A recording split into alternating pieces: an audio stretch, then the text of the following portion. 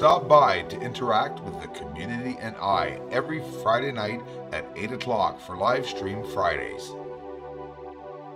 Welcome, trolls.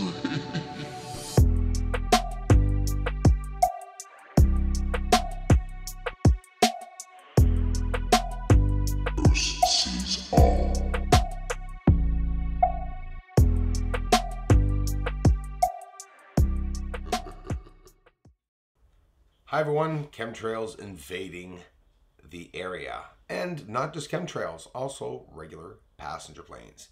You see a big difference and I'll show you that uh, in a basic video here.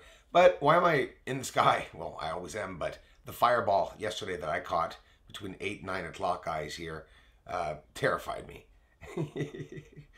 it was low, okay? Very, very low. You see how the smoke's breaking up here?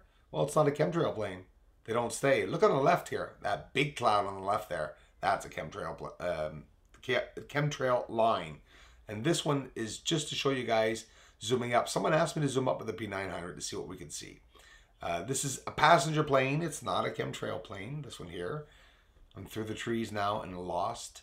But we're trying to see insignia on the airplane.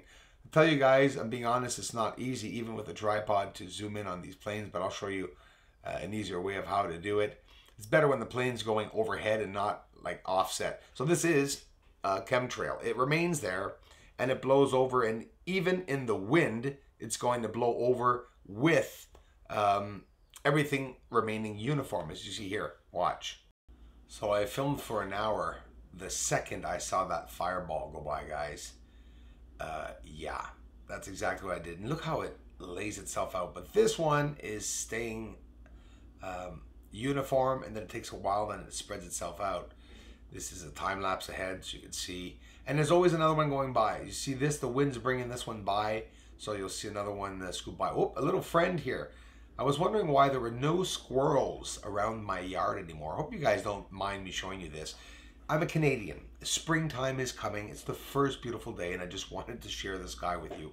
Um, actually, I was concerned about what I caught yesterday. Projectile coming in, a hawk.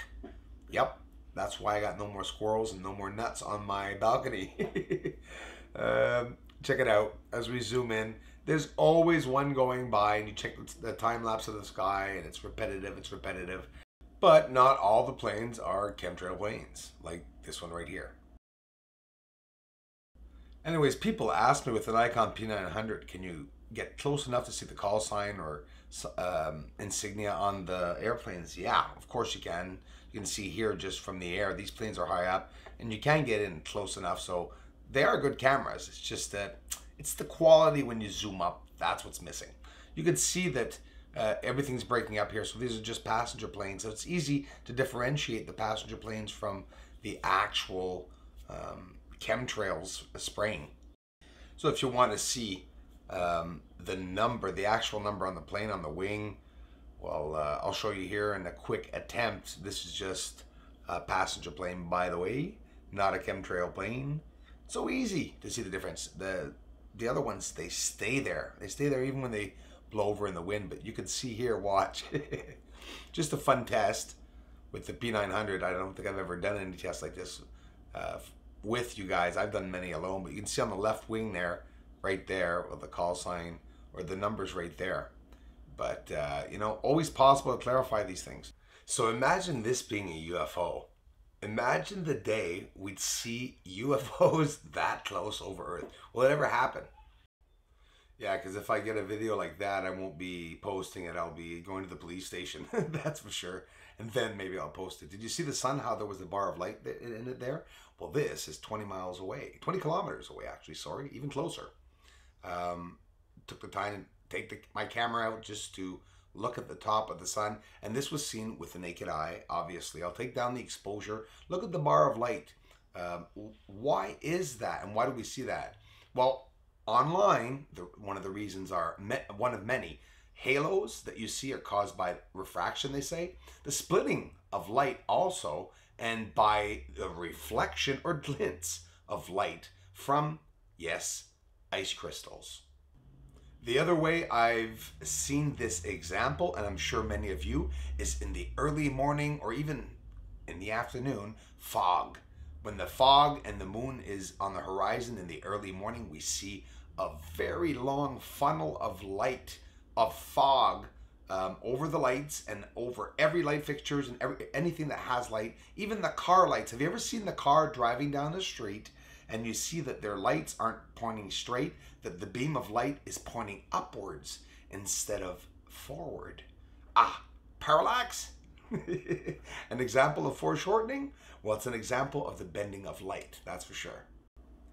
So people are asking me, can you get in close, Bruce? Really close? Oh, yeah we're gonna go blurry close. We're gonna go troll blur close, okay? we have to because it's awesome. I love looking at the surface close up, as close as I can myself. We'll just ease into it here, but yeah. Let's look at very close up craters, and this is near the full moon the day before, two days before. So, uh, two Aristarchus craters. Here's one, and here's two. What? What? Do you see that? Copernicus crater, which you'll see very close, as big as an apple in a second or two, is also um, a crater that has a crater nearby that is almost identical to it. Several of the craters um, look like they're repeating themselves, and I am up to the sixth massive rectangle square that I've shown you on the surface. I mean, Aristarchus crater is not a perfect rectangle, but it's pretty damn close when you look at it. And the other crater here, look closely on the right. So now what I'm doing is there's not a lot of color during the full moon and I'm taking advantage of that. I've even taken the saturation down right here to be able to see it even better. Look at the little connected dome-like objects inside of Aristarchus crater just below the big pill shape there and you can see the massive connection in the center going also into the ground and a big shadow. Why is there a shadow there? because that line that you're seeing is actually elevated off the surface. So let's get in just a little closer than that because it's clear. The 46 megapixel camera, I love it. We can zoom in a lot and we don't have to um, stay so far away because this is pretty close. So look at the size of your screen and say to yourself, Aristarchus crater is practically half the size of the screen. I love seeing this here along the edge the outer limits. Yeah, there's an edge on the moon. Definitely an edge. I can see it. Um, I'll call it an edge. Uh, watch while we're going up, guys. And gals, Clavius crater and Tycho crater. We're going to see it pretty close. Tycho crater right here on the right there. And Clavius crater right there. Hard to see, eh? Well, the wider the moon gets, the closer it gets to being full, the less we can see that elevation towards the center of the moon. So now we're seeing some elevation off the outer limits on the left there, you see in the top corner. That's why I kept it in a frame, because um, it's showing us an elevated surface, bending of light, foreshortening, parallax, one degree, they say. Um, that's the reason why they say that we're seeing the moon that way. Either way, I'm just following the information that's out there online. Look at these green patches. Hmm, yeah, there's three kinds of greens, right? Well, I'm talking about the lime colored greens. The ones that look like tree colors. Tree colors, I said. That's all I said. And that was the scary part of the video. So now we continue to view the surface of the moon and look for colors. So somebody told me sometimes when I say there's colors, you guys don't see it. I'm sorry, and that can be, and thanks for telling me. And, you know, different screens that's what's happening, right? We all have different screens. Sometimes we have very big sizes. Let's do a little test here. I see a lot of greenery, lime green here, all over these craters here. I don't know if you guys can see any signs of it. And now as we're going upwards, I'm seeing a more of a mint turquoise green. So there is a lot of coloring on the surface of all these craters. They're mixed with maybe five, six different colors, and the surface really is um, Earth-like. Look at the dark structure. It's pyramidal, right? A pyramid, just triangular. A point. There's several of them all through the mountains along the terminator line, and each time the terminator line moves across the surface of the moon, it exposes many areas with the triangular shapes.